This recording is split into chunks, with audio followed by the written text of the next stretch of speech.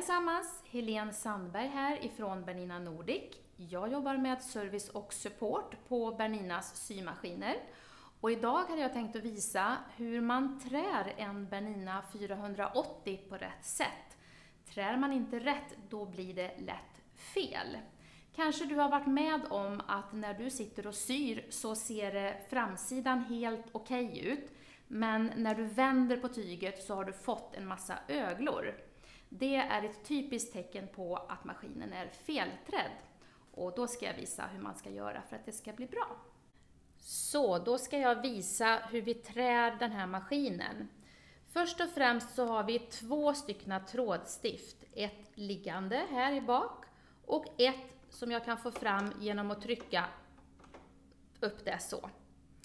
Om jag använder det stående stiftet då lägger jag en sån här skumbricka under tråden så att rullen snurrar lätt.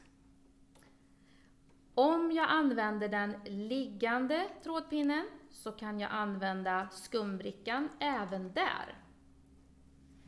Jag brukar tänka på att den lite taggiga kanten där man oftast klämmer fast tråden den sätter jag till höger i maskinen, så är inte den i vägen för tråden. Sedan så sätter jag fast trådrullen med en trådbricka. Den här rullen passar bra med mellanbrickan. Jag kan välja om jag vill ha den på det hållet eller på det hållet. Det går vilket som. Det viktiga är att trådrullen sitter fast och att tråden inte fastnar när jag drar i den så här. Sedan kommer jag fram till förspänningen. Då är det väldigt bra att hålla i tråden med båda händer. Jag för ner tråden bakom maskinen och drar den uppåt. Sedan håller jag lite stadigt och ser till att tråden åker ner mellan den här fjädrande brickan och den fasta metallskenan. Det är förspänningen här i bak. Det är viktigt. Missar man där, då kan man få det här. Nästa ställe är huvudtrådspänningen som sitter innanför här. Den här maskinen har en elektronisk trådspänning och det betyder att när maskinen är påslagen och syfoten är uppfälld, då har de här trådbrickorna öppnat sig. Det är alltså viktigt att maskinen är påslagen när ni trär maskinen. Eh, när jag lägger ner tråden här nu, brickorna är öppna, då glider den ner på rätt ställe. Sedan vänder jag här nere vid en reglerfjäder som sitter innanför här. Kommer fram till trådtilldragaren där jag drar in tråden längst bak och sen fram. Så kommer den att lägga sig till rätta i eh, trådtilldragarens eh, öga. Sen går jag ner på vänster sida här.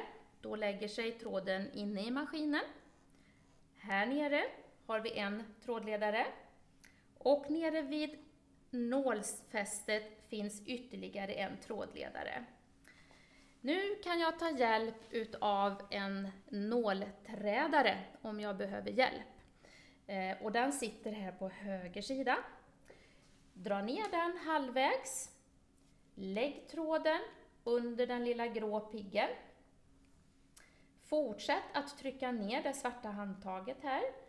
Fortsätt även när den är längst ner så att den vrider fram. Nu har en liten, liten krok gått in i nålsögat bakifrån. Om jag nu drar ner in tråden här i skåran och därefter går upp på höger sida, här, där finns en liten kniv. Då kan jag skära av tråden. Så kan jag nu lite sakta här släppa in tråden, dra in den i ögat. Och då ser ni att den hänger i bak här. Var lite försiktiga när ni tar loss tråden, eh, så ni inte skadar nålträdarkroken.